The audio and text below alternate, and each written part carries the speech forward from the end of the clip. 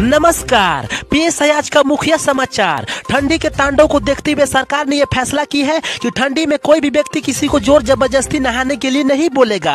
अगर ऐसा बोलते हुए कोई भी व्यक्ति पकड़ा जाता है तो उसके ऊपर सख्त से सख्त कार्रवाई की जाएगी। और इसी के साथ सरकार ने यह भी फैसला की है कि अगर कोई भी व्यक्ति किसी को नहाते हुए देख लेता है तो वो देखने वाला व्यक्ति भी नहाया हुआ माना जाएगा। अगर जो भी कोई इस बात को नहीं मानेगा तो सबसे पहले उसी को पटक पटक के नहवाया जाएगा। और इसी के साथ सरकार ने ये भी बताई है कि दुनिया में ईमान भाइयों बहनों बनाए रखिए अपना प्यार। एक बार फिर से फलाना सरकार।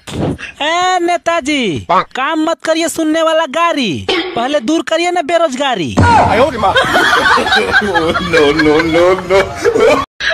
अच्छा दादाजी आप हमारे देश के बारे में क्या सोचते हैं? और देखिए हमारा देश महान है महान था महान रहेगा। आई लव इंडिया अरे वाह दादाजी।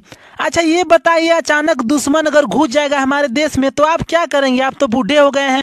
अरे साला बूढ़ा किसको बोलता है रे? हमारे देश में अगर दुश्मन भी घुस जाएगा न तो मैं दो चार गो को ऐसे ही पटक देगा। यार कड़िए हेलो। बारह बीक तबड़ा दिमाग हौसला जी नाम के? आगे जी लगाओ। जी कड़िए जी।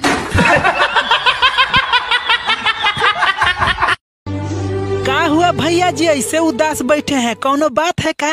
अरे बीबी का डिमांड पूरा करते करते दिमाग हैंग हो जा रहा है। अरे तो मेहरारू रखल हाथी पोसलाम बात है।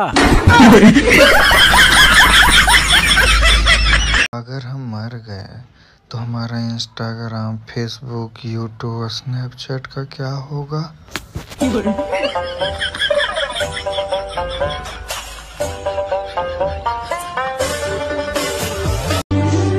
अपना अपना ख्याल रखिए दोस्तों। भगवान का हीटर चालू हो चुका है।